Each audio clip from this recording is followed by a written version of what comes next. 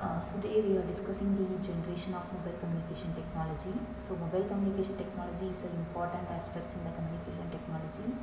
So it is a main tool or it is a common tool for the wireless media. So each and every time we are having a communication uh, between the two person through the mobile. So the mobile can transmit the data as well as uh, voice communication.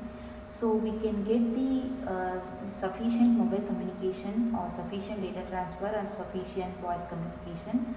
It will be taking the several years of uh, representation. So it also it can be implemented with the help of multiple access schemes. So we are having uh, four different types of multiple access method. Uh, TDMA, DMA, CDMA and WCDMA. So it will be happening based on the time, based on the frequency, based on the code and based on the space. Uh, nowadays it is a big challenge to select the uh, proper communication channel or proper technology to communicate the uh, one person to another person. It is a systematically we can identify the factors and systematically we can identify the channel between the sender to receiver. So we can have the selection by using our mobile communication technology. Uh, so first we are having so many generations. So for example, we can start with the zero generation and nowadays we are uh, implemented with the fifth generation also.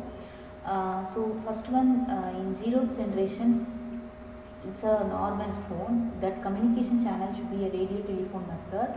So the communication is possible only for the voice communication. This not having any uh, data communication between the two mobile phones. So it will be uh, usually mounted in the cars or trucks. So it will be a movable, part. So we can implement the mobile phone in the any one movable vehicle. So then only the communication will be done by that uh, particular mounted cars. So in this zero technology or uh, zero generation, what are the technology will be used for? First one is push to talk. So it will be we are communicating the voice communication. So each and every word can be pushed from one place to another place. Automatically will be moving to the sender to receiver. And the second technology is mobile telephone system. So mobile telephone system is used for the communication channel in the radio frequency method. And the next one MTS so MTS means mobile telephone system. It will be uh, improved version of the previous one. So this technology will be used in the zero generation. So next one it is a simple representation of your mobile phone in the uh, zero generation. So zero generation will be implemented in 1924 the next one is first generation. So first generation is representing the analog cell phone. So it will be communicating the voice with a high frequency. Uh, that uh, high frequency refer to 150 millihertz. Uh, in this transmitter from one tower to another tower, so radio tower will be used for your representing the um, high frequency mobile phone communications. So this is done in the technique of FDMA. So in this, what is the meaning of FDMA? It's a frequency division multiple access. So in this technology, we are using frequency division multiple access. So first of all, we can send the data from sender to receiver we can have a multiple access so we have to allocate the frequency for particular uh, time period for the sender to receiver for example i can have a f1 frequency for particular time for uh, 10 minutes it will be allocating to the channel for sender to receiver so in that frequency can identified by the sender to send the data and the same thing that same frequency will be identified by the destination or receiver for the receiving the data from the channel. Uh, in frequency division multiple access we are having the frequency will be separated by the uh, guard band. So the guard band will allocate the each and every frequency separation. So based upon the guard band and frequency allocation we can use the first generation computer. The next one technology is a Nordic mobile telephonic system and next one is advanced mobile phone system. So in these three methods, what are the problems will be arise? First one, there is no security, so we can send the data from one sender to a receiver. If anybody identify the frequency means, we can easily track the communication uh, data uh, what we are sending by the sender and also prone to destruction. So if you are having any data addition, it is also possible to add the additional data to the original data. So next one the second generation. So the, the first generation was also implemented in the uh, 1964. Uh, second generation will be implemented in 1991. So it is a digital cell phone. The speed of the digital cell phone is kilo, uh, 10 um, kilobits per second. So if the time download will be taking 5 the minute 3 minutes for MP3 songs. And what are the services will be provided by the second generation digital voice calling and SMS. So in this SMS we are having the first of all we are having a SMS with totally 160 character can send by a single message. So it is the first uh, implementation part of the second generation. So what are the things will be happen or what are the things will be uh, used to in the second generation GSM. Uh, so it is a global system for mobile communication. CDMA, so it will be code division multiple access. So what is the thing is we can identify the sender to receiver which type of uh, media can be used by using our code and time division multiple access we can allocate the time for a particular representation or particular data the particular time that sender can alone send the data from sender to receiver so what are the benefits of your uh, second generation so it will be taking less power and the voice clarity will be improved noise can be reduced and the security and safety between um, security and safety of the data and voice call is good. So next one third generation. So it is advanced version of second generation.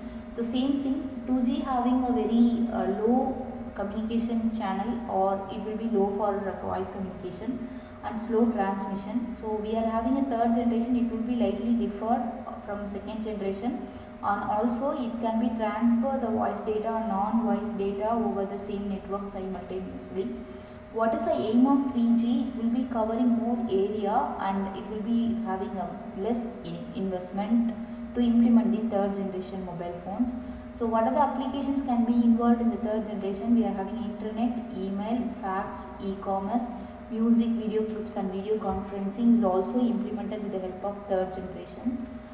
In the what are the features can be included in the third generation means phone calls, global roaming, send or receive a large email messages, high speed web and navigation and map so video conferencing tv streaming electronic agenda meeting reminder and gps uh, so these all the features can be included in the third generation. So the next one is uh, what are the representation? So in this third generation is also over the 2.5 generation. So what is the meaning of uh, second generation and third generation? In betweenly we are having a 2.5 generations also. So in this uh, 2.5 generations also having some features. So overcome that features we can include the audio and video streaming at several times higher data speed, video conferencing support, web and WAP browsing uh, and TV through internet support is also implemented in the third generation. So the next one fourth generation, the fourth generation will be implemented in the 2011 uh, fourth generation is used for ultra broadband speed and it having a very high internet connection. So it will be sufficient system, high network capacity, huge data rate, perfectly connected and global roaming, high quality of the services. These are the features will be included in the fourth generation. So what are the application can be included in the fourth generation? So nowadays we are using a mobile phone with the help of fourth generation only. So nowadays what are the features we are using, what are the applications we are using that is the representation of fourth generation. So games, electronic agents, e-commerce, business, private life, vehicular, public place, entertainment, education, all those things will be implemented in the fourth generation representation. So these are the uh, uh, dif difference between the third generation and fourth generation. So what are the technology and what is the difference?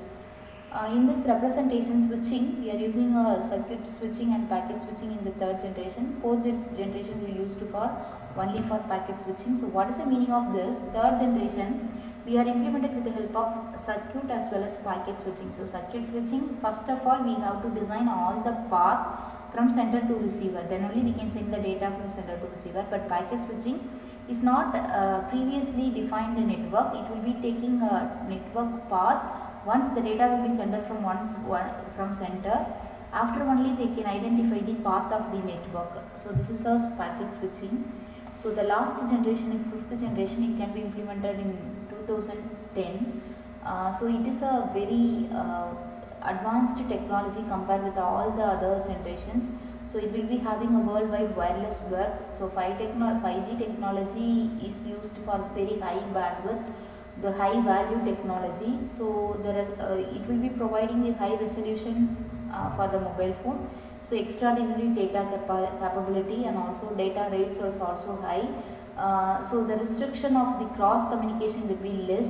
So it will be having a latest mobile operating system. So this is a representation of fifth generation.